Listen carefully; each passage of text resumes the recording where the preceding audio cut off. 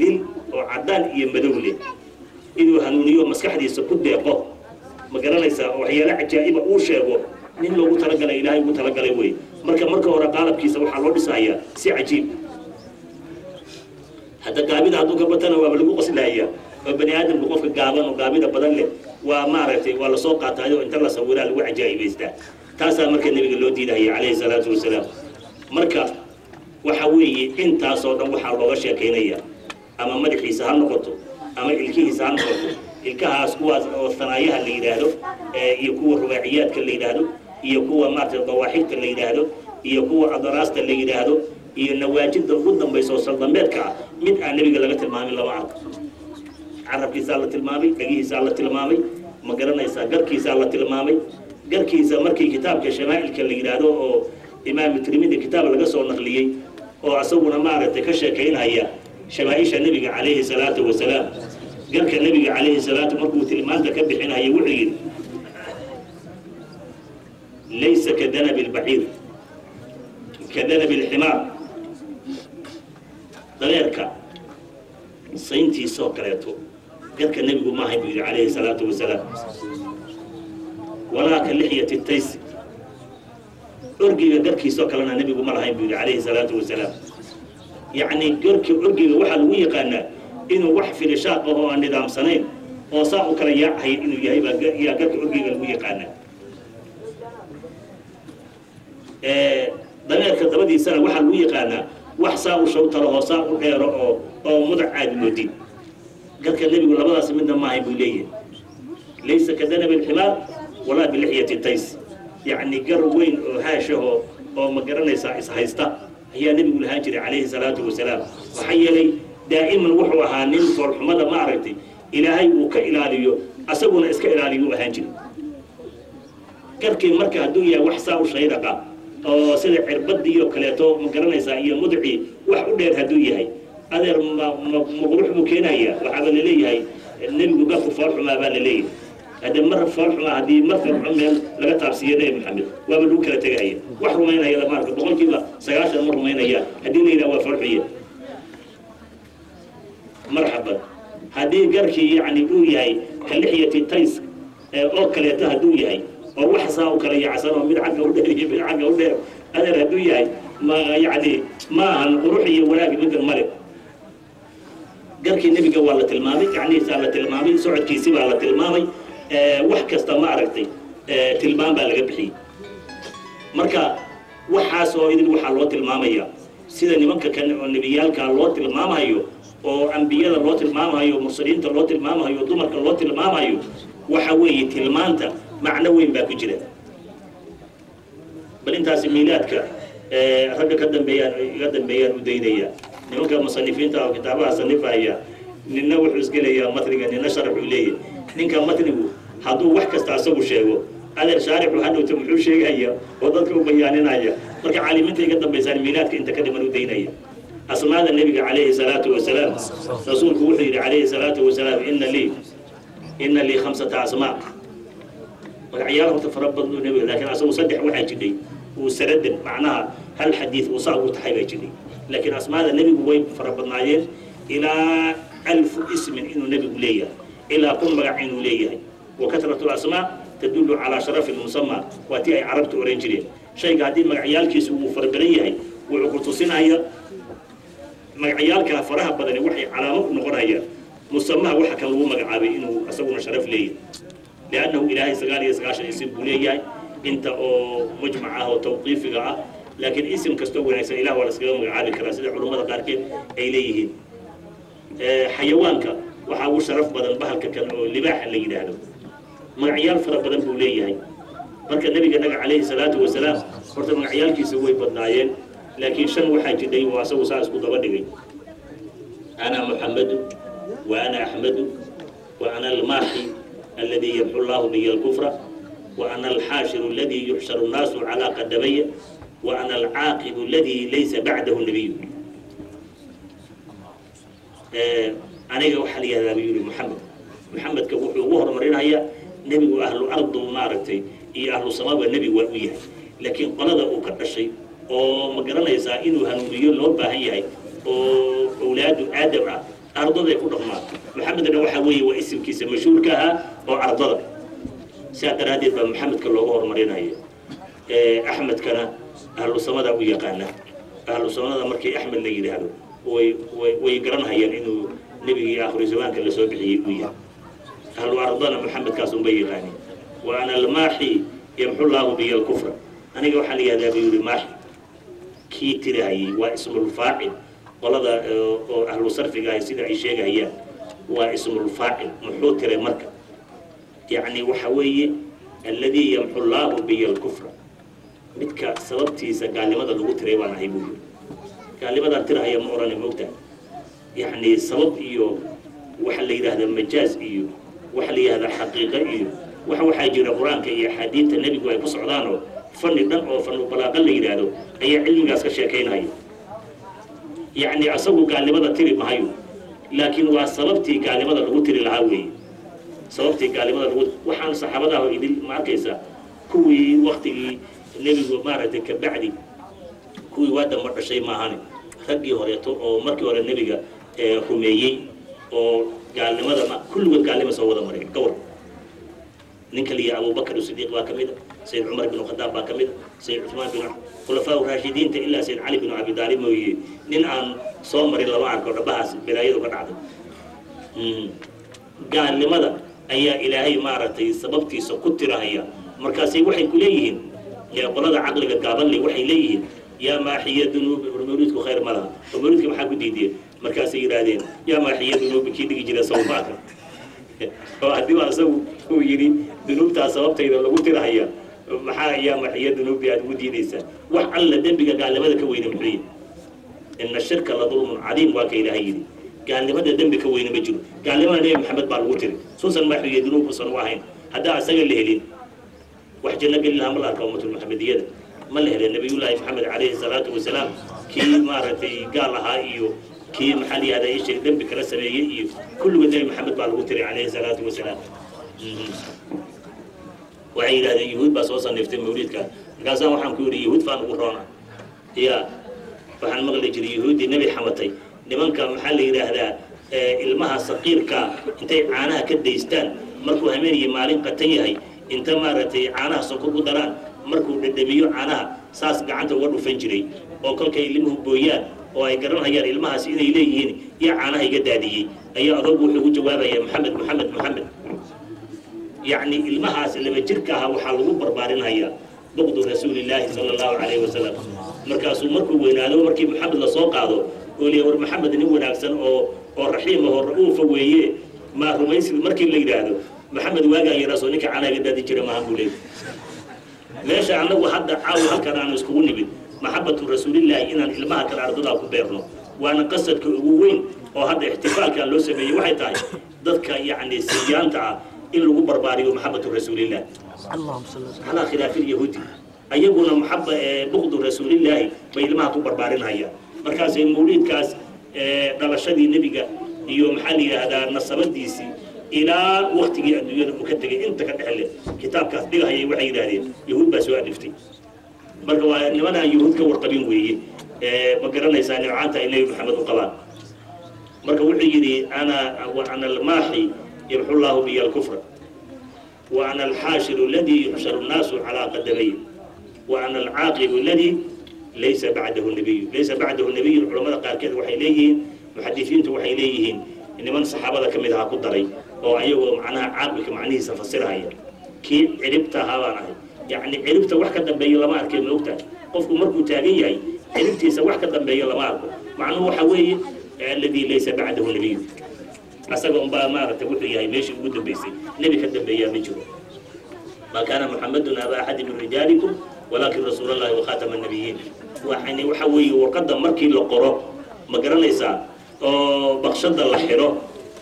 Waxaa lagu dhuftaa istaan baa lagu dhuftaa ama timbaraa lagu dhuftaa timbarahaas waxa weeye inaan warqadaas wax dambe geli kara aan la arag. Meeshay ka soo fushay iyo meesha ka timidna la garanhayo marka timbarihii ambiyadu ahaa nebi maxamed calayhi salaatu wasalaam. Welidaasaa daraaddeed qofkii yidhaahdaa bacda rasuulillaahi nebi baan arkay iyo nebi baa soo baxay qofkii yidhaahda waa murtad hadduu diinta islaamka ul ku jiray murtad buu noqonhaya hadduusan ku jirinna hadda xagga iska dhigmo. Marka baaraka allaahu fiikum.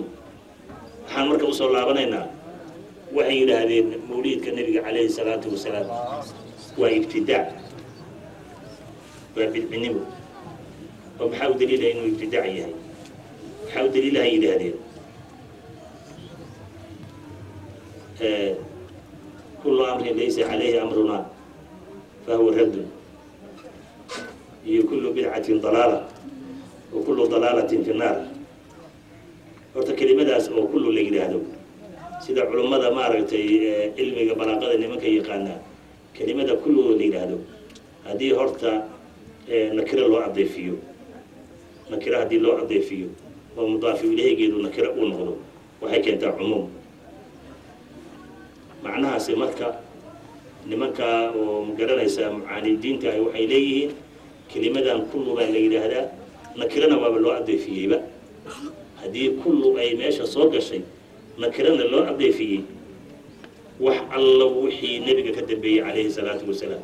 Waa baadi wa kullu dalaalatin fi nnaar marka taasaa marka waxay u baahan tahay jawaab in laga bixiyo. Jawaabta laga bixinhayaa waxay tahay horta bal yani ixtifaalkaani inuu horta ibtidaac yahay iyo in kaleeto in laga warramo wey ixtifaalkaani ibtidaac maaha. Kelimadan horta bidcinimada la yidhaahda marka u horeysa yaana ka soo laabane waxaa ku tacalluqda axkaamulkhamsa mar waxay noqonaysaa xaaraam shayga ibtidaac ah oo la bilowday mar xaaraam buu noqon hayaa marna waajib buu noqon hayaa marna karaahiyuu noqon hayaa marna mubax buu noqon hayaa marna sunnuuba noqon hayaaba kelimada bidciga la yidhaahdaa waxaa weeye awalu shay baa horta bidci la yidhaahdaa. Yacni wax wax kaaga horreeya aan lahayn badiicu samaawaati walardi soo qur'aanka kuma adnan arag. Yani waxa weeye samaawaadka iyo abuuritaankooda cid ugu horraysaan la arag ilaah. Samaawaadka iyo ardada abuuritaankooda cid ugu horraysan lama arag. Wamaa kuntu bidcan min arusul yani maa kuntu awala rasuulin. Rasuulkii ugu horreeye ma ma ahi buu yiri nabigu calayhi salaatu wasalaam.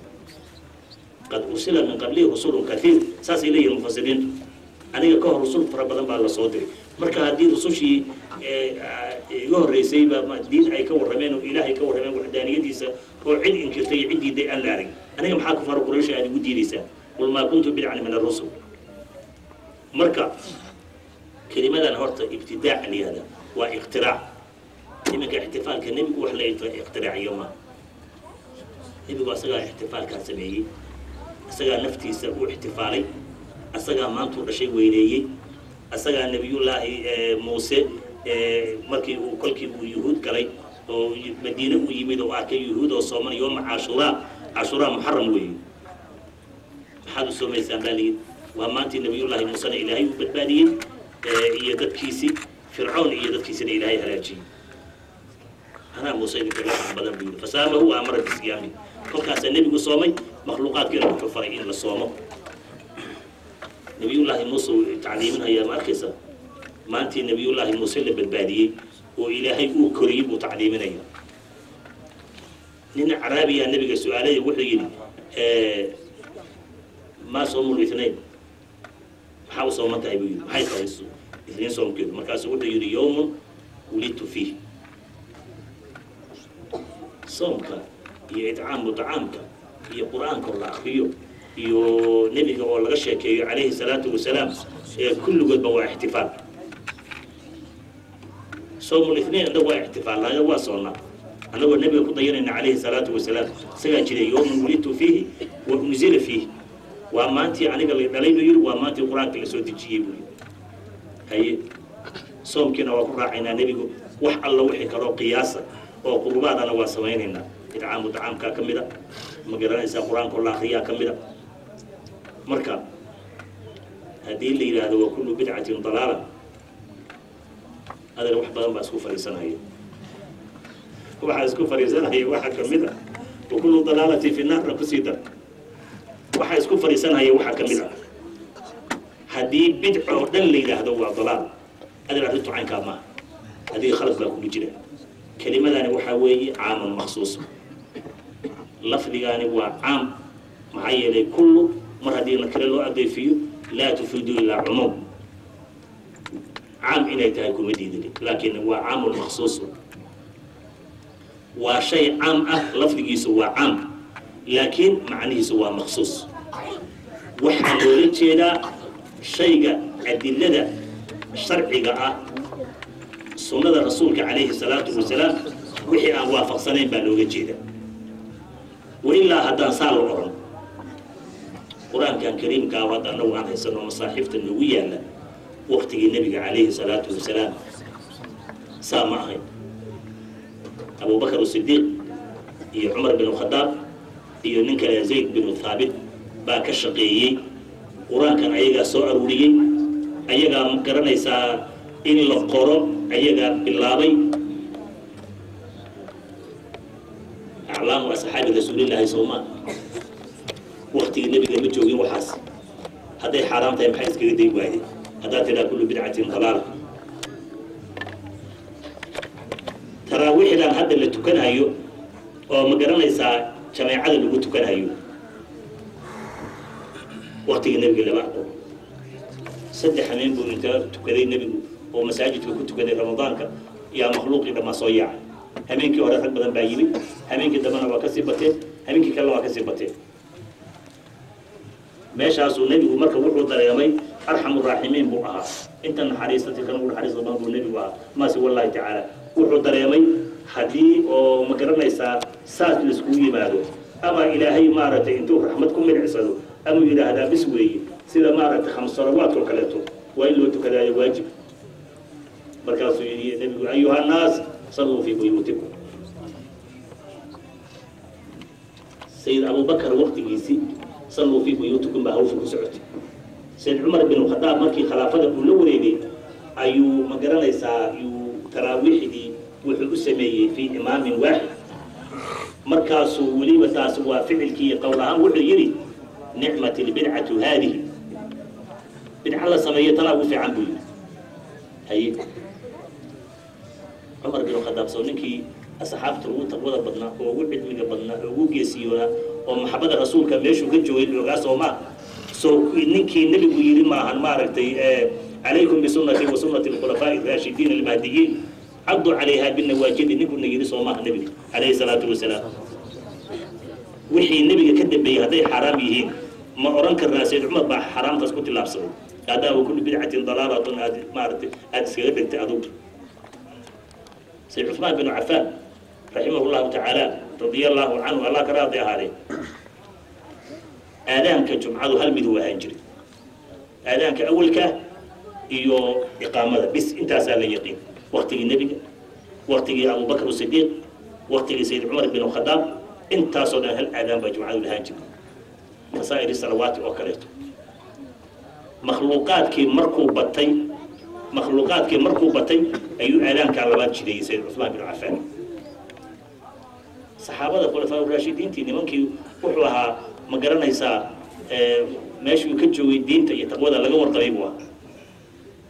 Wixii nebiga ka dambeeyey hadday xaaraam yihiin muxuu sayid cumar sayid cuhmaan bin cafaan aadaankan u jideeyey miduu nebiga khilaafo ku talagalay oo shay munkara la yimaado isagoo nebiguna leeyahay caddu calayha binawaajid maqaamul ibraahimka hadda kacbada xoogaa ka go-an dadka oo xujaajta ahaa garanaya. Maqaamul ibraahim kacbada xoogaa buu ka durugsan yahay. Laakiin waktigii nebiga calayhi salaatu wasalaam kacbaduu ku deganaa maxaa meeshuu uu ku istaagay weeye ma garanaysaa sayid nabiyullaahi ibraahim iyo ismaaciil iyo kolkay dhisahayeen meelahay ku istaageen buu ahaa. Waktigii nebiga calayhi salaatu wasalaam asagoo mulsaq ahoo kacbada ku dhegan ayaa nebigu ka yaa laga ofsaday. Abubakar waktigiisa caynkaasu ahaa. Sayid cumar bin khadaab baa inta soo fujiyey ayuu meesha hadda maaragtay lamaa katura naasu. Markii makhluuqaadkii batay ilaa kacbadii lagu dawaafaa la doonaya ay moogtahay. Isaguna mudaafka ka mid maaha ayuu xoogaa soo dirjiyey. Haddaad tidhaahdo kulli bidcati dalaala. Dhagaxa kan maqaama ibraahimkan in la qaado nebigu ma ogey calayhi salaatu wasalaam. Cumar bin khadaab muxuu iska den waaday xaaraamta? Ma waxaan oran karnaa xaaraan buu tashriiciyey. Ilaa yowmi alqiyaamati halkaasuu yuu maqaamkaasi taagnaanaya intaas ma waxaan oran karnaa xaaraan baa ku socota sayd cumar bin khadaab. Ma la oran karaa? Haye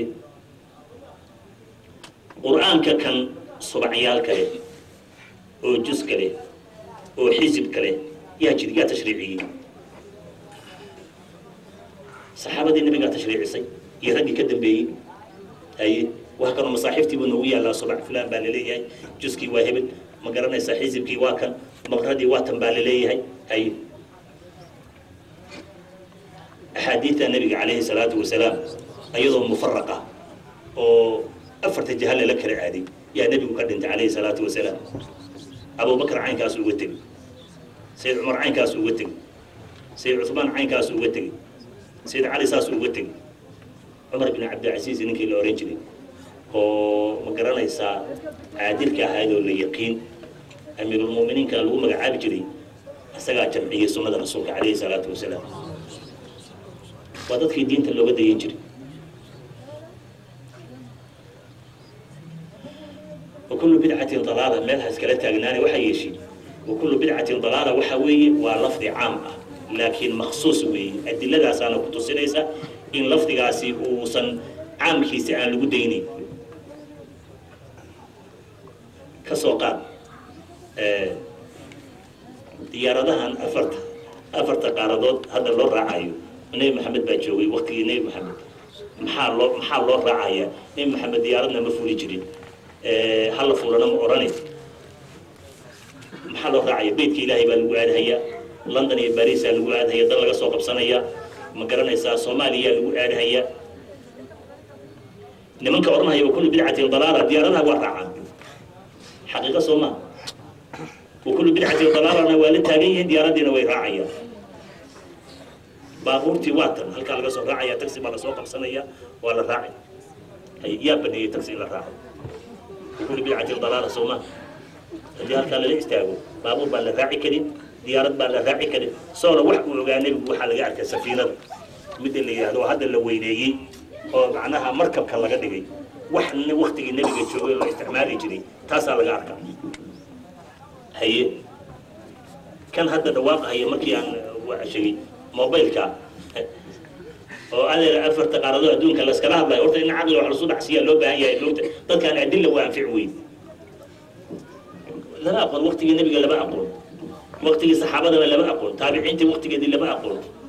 Ma garanaysaa xataa waqtigii ka dambeeyey oo lama aqoon. Imaam alghazali baa u hore raxmatullaahi calayh isagaa isku maaragtay isku ta'niifiyey isku aruuriyey waa la casriyeeyey rabbihiisii unbaa la raacay maxaa wax kastoo hadda gaaladu ay samayso? Muslimiinta laga soo gaaro meel kale lagama keeno haye. Hadda wakullu bidcatin dalaalatin wakullu dalaalatun wakullu dalaalatin fi naarna waa leedahay. Mobilna waa ku hadlaysaa yaa kuu baneeyey haddii la yaha wixii nebiga ka dambeeyey waa xaaraam adeer marka hadalka talkhiiskiisu waxaa weeye shayga inuu xaaraam yahay looma deliishan karo nebigii uu ka dambeeyey horta qaacidada rasmiga ah waa midda waxaa loo daliishan karaa inuu xaaraam yahay adilada sharciga iyo nusuustu inuu shaygu hortaagan yahay. Haddii uu nusuusta hortaagan yahay ma garanaysaa ibtidaacii muxaramka ahaa wey maxaa nusuusta hortaagan marka? Ma in lays wacdiyaa nusuusta hortaagan? Oo macruufka la saro munkarka la reebo ma in masaakiinta fuqarada cuno la siiyaa iyo nusuusta nebiga hortaagan imisaa qur'aanku wayudcimuna tacaama calaa xubihi miskiina wayatiima waasiira intee qur'aanku dhigay? Walaa yaxudu calaa tacaami lmiskiin intee qur'aanku dhigahayaa masaakiinta iyo fuqarada iyo waxa la siiyo waxay yidhaahdeen hadda aan maalmahan maqlahaya iyadoo la leeyahay sadaqada nebigu nebigu sadaqada waa iska xaribo ma cuni jirin haddana waxay leeyihiin sadaqa hala bixiyo. Ma nebi maxamed anagu hadda cuno siinaynaa? Kuwa gaajada bisow ilaahan wax siinaynaayo kuwii nebigu quudin jira anagu quudinaynaayo ma nebi maxamed baa anagu hadda cuno siinaynaa? Markii cunaa intee cuno moogaa? Kun iyo afar boqoloo iyo shii baa laga joogaa waqtigii cunaa isdaayeen marka maaha waa yaxni maaragtay waxa weeye. Calaa kulli xaal waxa weeye ma la diidi karo yani ixtifaalka nebiga calayhi salaatu wasalaam. Bal nebi maxamed iska dhaaf nebiyaalkii iska dhaaf xeero beriisa xeero maaragtay orgaashin oo qudaas oo samada laga soo dejiyey ayaa nebiyullaahi ciise wuxuu leeyahay takunu lana ciidan liawalina inay ciid iyo xusiis noo noqoto yaan ilaahu kaaga tugayaa buu yidhi xeeradaas. Waa xeero aysh nafci inkastoo middaan ay mubaaraka tahay oo dee samada laga keenay xeero beriisu wuxuu leeyahay nebiyullaahi ciise wuxuu leeyahay xeero raashinu wuxuu leeyahay ciid iyo xusiis bay noo noqonaysaa. Waxaa nebi marka nebi maxamed ma aragtay ninka hadda yidhi waa la yaabaysaan caarifka wa milaadu ciidu lanaa wa wadkrunaa ninka yidhi waa la yaabaysaa. Midda kaleeto ilaahay subxaanahu watacaala sooma oran waman yucadim shacaa'ir allahi fa inaha min taqwa alquluub shacaa'irtu maxay tahay? Aclaami diin illaahi weeye waxaa ka mid a xajirul aswadka waxaa ka mid a kacbada waxaa ka mid a safa iyo marwa waxaa ka carafada waxaa ka a maa'idatu ciisa waxaa ka mid muusa waxaa ka noqonaya naaqatu saalix. Waxaasoo idin min bay ka tahay. Intaas tacdiimkood ayaa waxaa la min taqwa alquluubi bay ka tahay. Intaas ninkii ka sii maqaab weynaa ka war oo ka darajada weynaa naaqadii nebi saalax baa waxaa la leeyahay min shacaa'ir illaahi weeyo waa in la tacdiimiyo ada qur'aankii baa lagu xusay. Hashii geel ahayd oo ma garanaysaa hadiyada loo soo waday oo ma garanaysaa kacbada loo soo waday. Shacaa'irtay ka mid tahay. Marka ninkii dhammaa oo haqalaynka inta gaalnimo ka saaray ma garanaysaa mugdiga inta ka saaray halkaa nuurkaa ku xareeyey ayu maanicin manacahu min tacdiimi rasuulillahi marka maanica mancinaya marka muxuu yihi adeer marka waxaa weeye hadalka runtiisa markaan u laabano dadka mawliidka nebiga diidaya qiraa'atul qur'aanka halka kan lagu hayo iyo macruufka laysfarhayo iyo munkarka layska reebahayo iyo idcaamu dacaamka iyo waanada layswaadinayo intaasoo idil maha waxay diidan yihiin waxay diidan yihiin nebiga in dadka laga kormariyay diidaya hadda ninkaasu nin amarka ilaahay hortaagan wey waa nin yacni qadihii ilaahay uu xugmiye qof hortaagan wey maxaa yeelay nebiga ilaahay baa makhluuqiisa ka kormariyey carab oo dhan oo fusaxaa oo shujaaciin ah oo ma garanaysaa dhooban maka iyo madiino dhooban ayaa maxaa la yidhaahdaa? Asaga inta laga soo dhex qabtay ayaa qur'aanka lagu soo dejiyey. Adiga cid qur'aanka kugu soo dejinaysaa ma jiro iyo cid ku rarta mid. Ilaahay addoommadiisa unbaad ka mid. Haye baytulmaqdes baa inta layskugu geeyey jamiicu alambiyaai walmursaliin ayaa nin imaam noqda la waayo nebi maxamed aan ahayn. Markaasaa malakuljibita gacanta soo qabtay yuu halkaa soo fariisiyey. Baabuuninta ka weyne maxay tahay? Waxay leeyihiin maxaa loo baabuuninaya ninka kale markii wixii nebiyaal ahaa uu salaadii ka bixiyey oo halkaa ay ku hareen oo jibriil oo hadda la garanayo maqaamka uu joogo uu nebiga israaceen micraajkii fuuleen oo samaawaadkii dhammeeyeen waa la ogaa.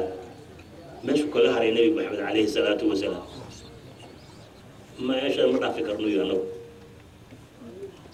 Hay keligiisaa marka tegey oo ilaahay xadaradiisa ka qayb galay oo wixii dee ilaahay uu kula sheekaystay iyo wixii ilaahay uu faray iyo qaabkuu ilaahay u soo dhaweeyey iyo aan wax la koobi kara aan ahayn fa waxaa ilaa cabdii maa waxaa lagu soo arooriyey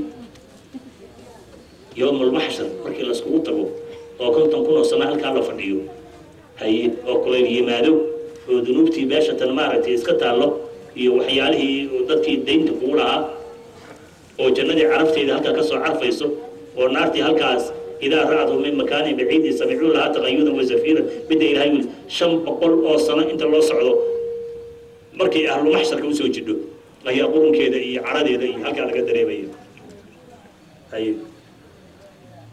markaasaa intii nebiyaalaha inta la isku maro ayaa nin kaliya oo meeshaa istaaga ilaahay wejigiisa taga iyaa lagu inta kulligood la isku maray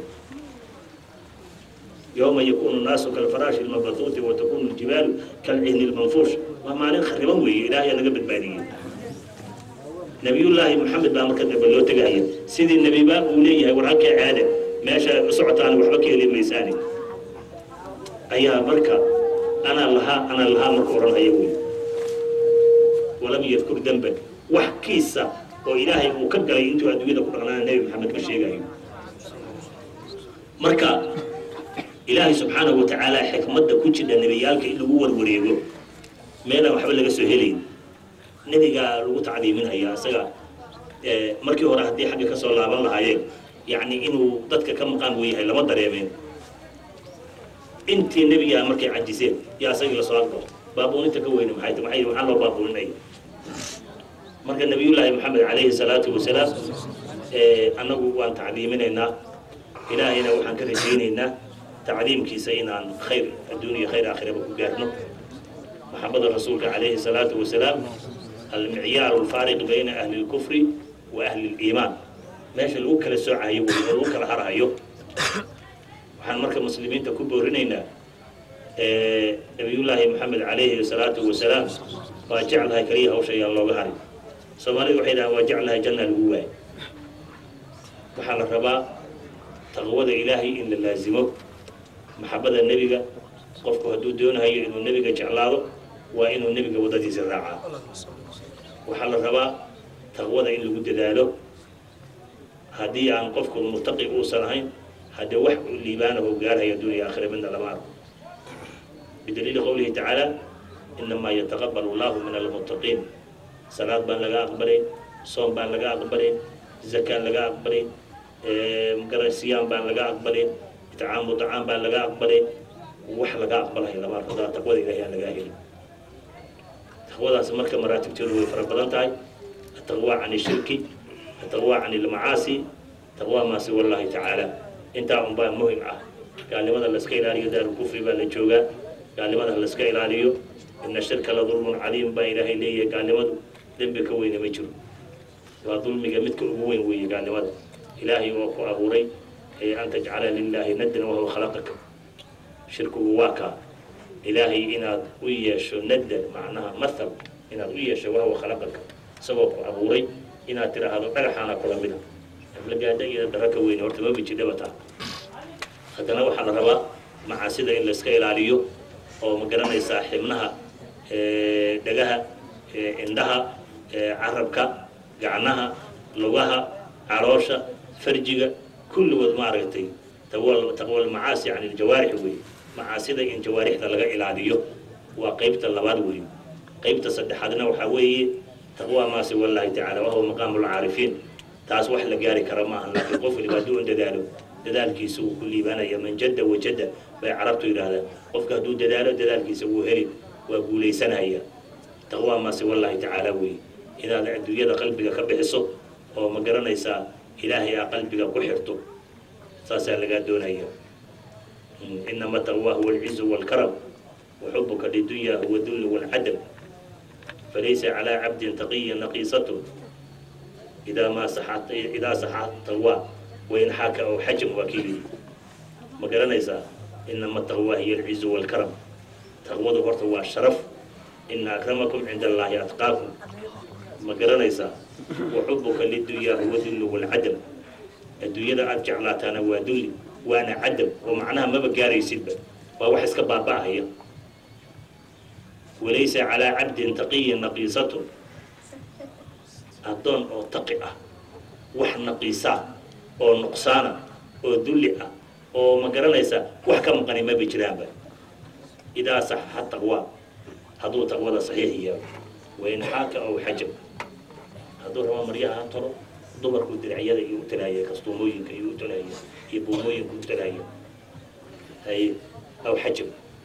Hadduu rabo dadku dhiigga ka miirahayo qofka madaxu xanuunayo iyo garbaha maaragtay iyo madaxa iyo iyo ka toobahaya waad garanaysaa ninka la yihahda imaamu alcaarifiin suldaan alcaarifiin xujatullaahi imaamu alghazali markii uu fiqhigii intaa maaragtay bartay oo makhluuqii baray uu haddana maaragtay dhinacaas uu suufinimada u soo wareegahayay sabab waxaa u ahaa galab galbaha ka midu yuu dadkii jamaacadiisa ahaa salaadii ka baxshay markaasaa mid asaga la dhashay yaa markuu salaadii xirtay wax yar joogay yuu ka goostay.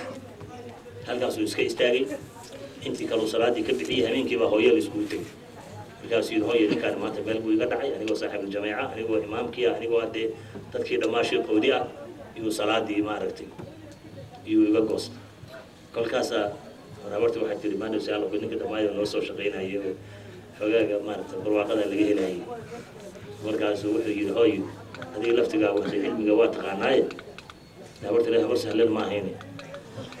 Qof mutanajisa salaadu maka ansaxaysaa maxaa yeelay imaamku inuu mutadayr yahaa shardi ah. Oogadiisa iyo dharkiisa iyo ma garanaysaa makaankiisa waa inay daahir yihiin markaasuu qofku imaam noqon karaa salaada ka ansaxaysa. Xataa hadduu maamuum yahay hadduu munfarid yahay waa caynka. Horti waa yaabtay sidaa lagu galaba jiriya nin qazaali la yidhahdo maya hoy anigu saqaadkaygu waa fiicna maxaa la yidhaahdaa? Dharkaygu waa fiicna oy ninkan wuxuu yidhi markuu salaada maaragtay uu laga bixinayay cashar uu berri uu inuu akriyo rabo. Oo kitaabulxayd la yidhaahdo raad lisinil xaydi kii uu dhibka badnaa weeyey kaasuu maaragtay ayuu daalcanayay marka damulxayd baaba qalbigiisa ku wareegayay buu yidhi. Qof hadda damulxayd qalbigiisa ku wareegayana imaam lagama dhigan karo yidhi wixii buu ku qabtay maogtahay bahashii buu ku qabtay korontadii buu ku qabtay. Qofka haddii maasi wallahi tacaala qalbigiisa ay soo gasho salaadiisu maba ansaxaysaba kama qaalahu suufiyatu. Maasi wallahi tacaala qof haddii qalbigiisa mar gasho salaadiisu ansixi mayso cibaadadiisa oo dhan baa idil baa kayru maqbuula ah saasay qabaan kitaabaha maaragtay oo dahaaratlquluubka ka sheekeynaya hoos bay marka isugu dhigeen oo leer xagee baad ka keentay waxa kan markaasuu u tilmaamay nin maaragtay oo meel dukaafada oo kabaha lagu talo oo ma garanaysaa jooga ninkaasa ka soo qaato yii imaam alghazali marka musawirkiisa waa aragtay nin gar weyn buu ahaa meeshaasuu marka wuxuu yidhi ninkii baan aadayay ninkii buu u tegey isagoo kabihii kuwa xagga u riixayo kuwa xagga u riixayo oo kuwa mayrahayo oo ma garanaysa ayuu u tegey kaas nabadnabadiiyo nabadu hay xagee u socotay buu yidhi intaasaa ku soo khatiimaya baaraka allahu fiikum markaasu wuxuu yidhi waxaan u socday inaan maaragtay wax kaa faa'iidaysto. Adigan dadka weyn lahoo quruxdan ilaahay siiyey baa yaa ninka kan soo aaday may waa ku soo aadu yidhi. Hay marka wuxuu nin fiican baaba tahay kabahan iyo qashinkan iyo nin weyn oo garkiisu baleel yahay waaba dhameeyey. Maxaa la yaaba horta waxaan saas inta u xaaqdi waa kaas. Markaasuu wuxuu damcay jaakadii iyo ma garanaysaa cimaamadii iyo iyaysan meelaha kabaha kaaga nijaasoobeyn inuu iska siibo maya maya maya adoo waxaaga qabaad xaaqiisa maanta meesha. Nin haddee wuxuu ahaa qaalib ah. Markaasuu saas garbaha udhigtay ilaa garkii baa la rabaa wixii ninku xaaqeen mogta kabihii farihi ka bato intii muddaa uu ka xaaqu ilaa waayey ninka kan suufiga markaasuu wuxuu damcay inuu saas marka ugu foorsaday oo laakiin garkii uusan saarin kabihii iyo show malaayiin oo wasakda iyo nijaasada iyo markaasuu irfac irfac ra'saka wandur ila samaa madaxa kor u qaad buu yidhi samadana eeg. Yani madaxa kor u qaado meesha qashinka madaxa ka qaad buu leeyahy yani waxa kan awliyada ahay nadro kaliya ay moogtahay dadka ku dharjiyaan. Nadro kaliyana waa kugu halaajin karaa. Madaxuu kor u qaaday toddobadii samo iyo wixii ku sugnaa baa u noqday.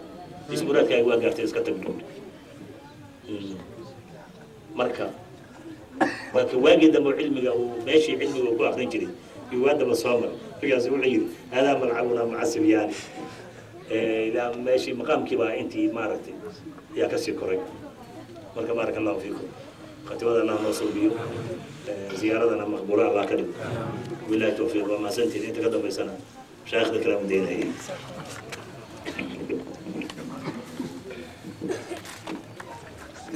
الشيخ آه، أحسن أحسن أحسن أحسن الله الله آه، أفضل الجزاء. بالعين قوة من خير فرد أيها الله الشاكرين. muminku man yashbaca almuuminu min khayrin yasmacu xataa yakuuna muntahaahu ljannah oo kamaa qaala salawaatu ullaahi wasalaamu alqadra calayhi muminku khayr uu dhagaysanayo ka dhargimahayo ilaa uu yoolka jannada gaaro haddiiyan ahayn intaasaaba kifaayo loo ahaan lahayd meelo badan buu sheekhu ka hadlay nabigeena calayhi salaatu wasalaam dhalashadiisii iyo irhaasaadkii nabiga calayhi salaatu wasalaam waxyaalihii yani karaamaad ahaa ee nabigeena calayhi salaatu wasalaam ilaahay uu ku soo dhaweynayay siduu nabigeenu u xafladeeyey dhalashadiisa iyo sidii ilaahay subxaanahu wa tacaalaaba ugu xafladeeyey. Intaba shiikhu waa uu nooga hadlay adilla kaafiya qofkii xaq doonahaya adilo ku filan ayuu shiikhuna siiyey. Xaggii bidcadii axkaamul khamsadeedii waa shiikhu waa isaga nooga hadlay. Xadiidkii ay la soo ordi jireenna waa isaga shiikhu dee naga qanciyey. Weliba culimmada usuuliyiintu waxay yidhaahdaan maa min caamin ilaa waqad khusisa. Caan ma jiro ilaa waa la khaas yeelay. Waxaa kulli qur'aan ku soo aroortay oo dhan in allaha qad axaada bikulli shayin cilma keliyaha laga soo reebaayo. Inta kale waa maksuus falilaahi alxamdu walminna marka qofkii dee doonaya xaq xaq waa u cadyahay qofkii aanan xaq doonayninna wax kastoo aada u sheegto waxaa la yidhi nin naagtaada raba gabadhayda hoor gabadhayda hoor ka kari maysid marka nabigeena calayhi salaatu wasalaam tacdiimintiisa iyo ka sheekaynta laga sheekeeyaa waxay keenaysaa in la jeclaado dadka waxaa lagu jeclaadaa laba jamaal. Jamaalka suuriga ah qofka markuu suuro ahaan quruxdiisa iyo jamaalka yani khuluqiga ah dabeecadiisu markay macaan tahay nabigu intaba u dhamaystirmaayo wanaag oo dhan baa ilaahay inta soo arooriyay min rukuna muxamedin maxamed noqon kaasay maxamed noqon salawaatu llahi wasalaamu taala caleyh marka markii jamaalkiisina lagaaga sheekeeyo xaggii suurada iyo jismigiisii khuluqiisii iyo macaankiisina lagaaga sheekeeyo dee waad jeclaanaysaa?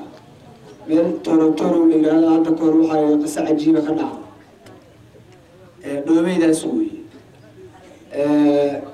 torotoro waxaa lagu dhigaya ixtifaalka mawlidka nabiga caleyhi salaatu wasalaam. Mid show geela baadiyaha dhexdiisa lagu dhalay oo suu baadiyaha u soo joogay geela u jiray dhowr iyo soddon jir ah oo weligiiba culuma iyo meelay joogta aanan maqlin laa ilaha illa allahu maxamadu rasuulullahi baa iska gaartay nabi maxamed calayhi salaatu wasalaam kaba moodaayo inuu reer qolyoona iyo reer u yahay. Ayaa laga sheekeeyey nabiga calayhi salaatu wasalaam maxaa maxaasintiisii iyo wanaagiisii iyo quruxdiisii iyo cadamadiisii baa wadaad ka sheekeeyey wadaadkii labaad baa marka wuxuu bilaabay gaaladu siday u dhibeen nabiga calayhi salaatu wasalaam iyo abijahl iyo raggii lahaa siday u dhibeen iyo maalintii uxud dhibkii loo geystay waxaa inuu ka sheekeeyuu bilaabay. Inta u soo dhowaaday qaar weyn uu watay daqar ku halkaa wejiga ku dhuftay oo kula booday oo afgembi u riday. Kala qabta ninkii baa laga jiyey markaasuu yiri markuu nooga sheekeynayo nabiga intii saas loo gelayo muxuu u fiirinayo uga qaban waayo dadka ja maxaasintii nabiga calayhi salaatu wasalaam looga sheekeeyey hadaayey ayuu baagashay oo nabiga ku jeclaaday. Markaa ninkii nabiga calayhi salaatu wasalaam wax u dhima iska daaye ninkii agtiisa wax loogu dhimuu dilaya nabina ma aqoonshaay markuu imaanaya caawa kaliyaa looga sheekeeyey calimuu awlaadakum maxabata rasuulillah awlaadtiina bara maxabada nabiga calayhi salaatu wasalaam alaa laa iimaana liman laa maxabata laa. Iimaan mara qofkaan maxaba lahayn marka in yani dadka la quudiyo oo la yidhaahdo dhalashadii nabiga calayhi salaatu wasalaam weeye waxa la idiin quudinayo carruurta laga farxiyo oo la yidhaahdo dugsiyada la fasaxo la yidhaahdo dhalashadii nabiga weeye. Oo nacnac loo qaybiyo xalwo iyo buskud loo qaybiyo oo haddii ilaa idankeeda leeyahay cunnada maalintaas aabbaha iyo hooyadu ay u waasiciyaan oo bil fiican reerka inta odagu siiyo hooyana ay qudaar cajiiba ay samayso ay ilmaha ugu sheekayso waa maalintii nabiga iyaga la dhalay. Ilmuhu jacayl nabi bay ku soo barbaarayaan calayhi salaatu wasalaam. Sida sheekhu waa noo sheegayo yahuuddu ay ilmaha caanaha inta ka daadiso markuu gaajoodo hal mar markuu ka badanta geb ka siisa nabi maxamed kaa daadiyey maxay u yeelahay inuu inuu nabcaado? Adigu marka markaad ilmihii caanihi u soo korayso tiraada nabi maxamed ku siiyey soo jeclaan maayaan. Marka ninka diidaya nabi maxamed calayhi salaatu wasalaam tacdiimkiisa waa nabi maxamed yaan la jeclaanin. Iimaan yaan la helin. Khayr iyo diin yaan la helin. Nabiga calayhi salaatu wasalaam adiladiisa dee culimmada nooga warantay. Laakiin waxaa la yidhahdaa qad tunkiru alcaynu dawa shamsi min ramadin wa yunkiru alfamu طacma almaai min saqamin ishu inay inkirtaan la arkaa daafay qabto qoraxda iftiinkeeda. Oo qofku hadduu xalay asagoo daaf qaba inta seexday indhuhu ay isku dhogeen oo barqadii afar saac uu soo tooso. Ee xanjadii iyo dhacaankii indhihiisa ka socday ay baararkii indhaha isku dhajiyeen oo indhihii uu kala qaadi la'yahay qoraxdii hadduu arki waayo nuurkii qoraxdu kaamil waaye sidiisi waaye asagaa indhaha ka buka. Ee qoraxdii nuurkeedii waxba uma dhinmin qoraxda ceebayn maysa taaso asagaa jiran. Isagaa la leeyahay marka waxaad yeeshaa adaa bukee qoraxdaana balaayo ma qabtee waxaad yeeshaa orado caleen iyo isba raadso indhaha biyo kulul isaga soo dhaq wayunkiru famu tacmal maa'i min saqamin waxaa laga yaabaa biyaha macaaneed aragteen ee lagu oonbaxo ee qabowga ah iyo cunnada midda ugu macaan. Qofku markuu malaariya qabo ee uu jiran yahay inuu dhadhankooda inkiro uu yidhaahdo kharaar badana. Hadda biyihii ma kharaaree adiga carabkaagibaa dacaar oo qaras baa uurka ku fadhidee kacoo isa soo qarastaalo dawo malaariya radsadaafurke ruuxa markii